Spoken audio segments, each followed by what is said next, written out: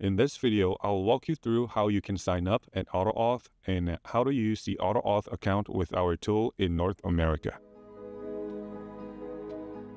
AutoAuth is a service that provides security gateway access to aftermarket scan tools to perform security functions.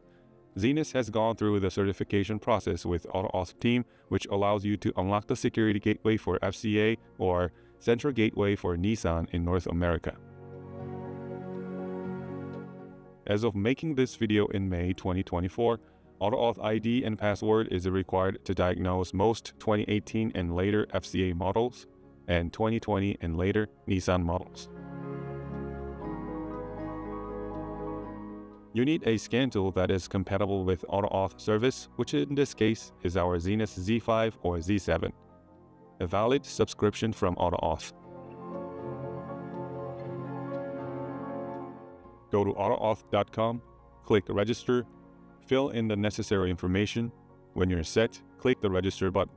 An account validation link will be sent to your email address. Click the link for validation. Go back to the AutoAuth website log into your account, choose the appropriate category for your shop. If your shop already has an account with AutoAuth with valid subscription, choose User Profile. Otherwise, select the Upper tab. Choose the right plan for you and make a payment.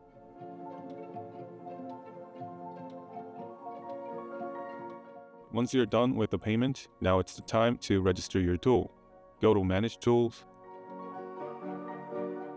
Add a Tool, under drop-down menu in Manufacturer, choose EZDS and choose Zenith Z7. Make sure you enter the ZVCI's serial number which starts with SD. Once you're done, click Add Tool. Now your tool is registered successfully. When you try to diagnose FCA or Nissan vehicles with Secure Gateway or Central Gateway system, you will see AutoAuth prompt in our tool. Make sure your tool is connected to the internet and log in with your AutoAuth ID and password. After successful login, you can start diagnosing the vehicle. If you have any further questions about our tablet or ZVCI2, don't hesitate to reach out to our tech support or visit us at e-zdsusa.com.